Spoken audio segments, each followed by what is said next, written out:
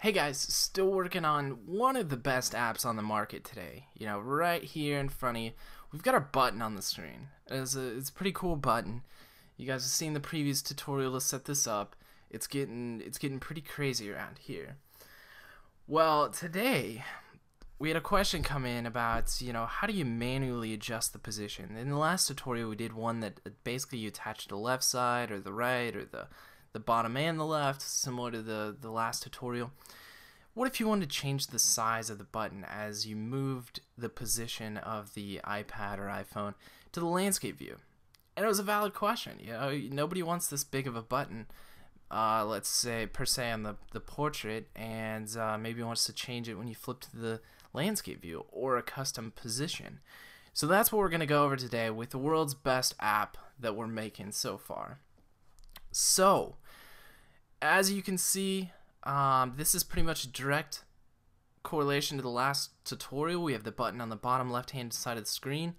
Um, the one difference that we're going to do today is as you switch to the landscape view, you can see our button now has shrinked. I think it's like an 80 by 80. And then we positioned it in kind of a weird place on the screen. So we've manually adjusted the position and it's not locked anywhere to let's say the y-axis or y-axis or the x-axis. So that's what we're going to be doing today is adjusting manually positioning the button on the screen. So let's hop out of the simulator here. And this is our project that we've been working on, just a simple button on the screen.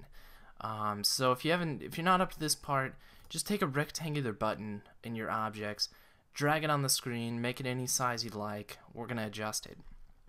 Alright, from here, if you click into the button and you go into the size inspector, which is up under here in the top left, you're going to see we've got an X coordinate, a Y, a width, and a height of the button.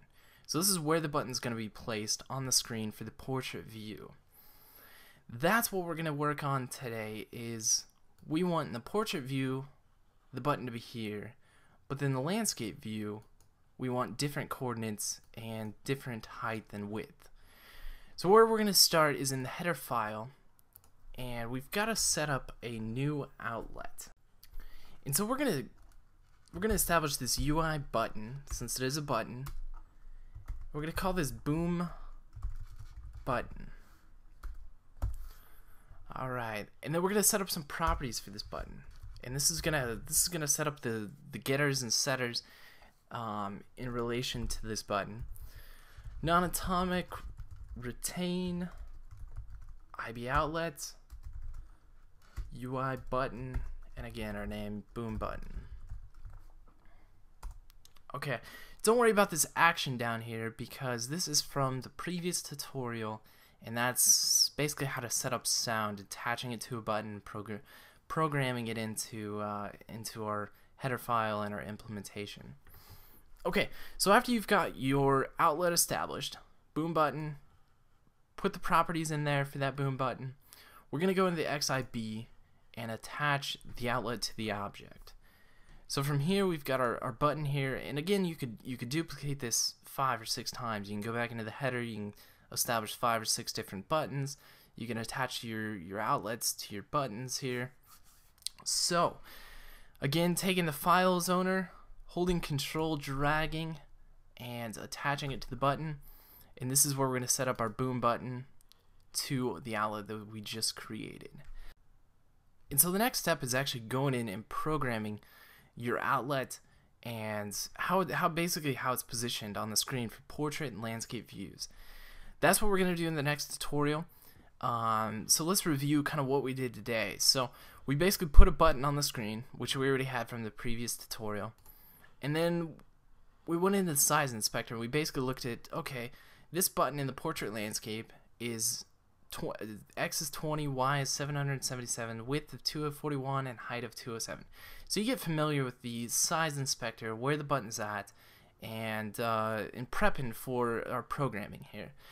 Then you go into the header file, and we establish our outlet of UI button, boom button, and then we assign the properties, which establishes the getters and setters for this particular outlet, which uh, we put in non-atomic retain, IB outlet, UI button, boom button.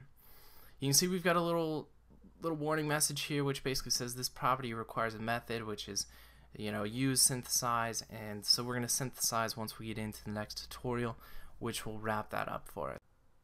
Alright so that's as far as we're going to get on this tutorial. Um, as we move into manually adjusting the buttons from landscape to portrait and uh, moving forward. So, alright, stay tuned so you can check out how to build the world's best app. Alright, peace out, guys.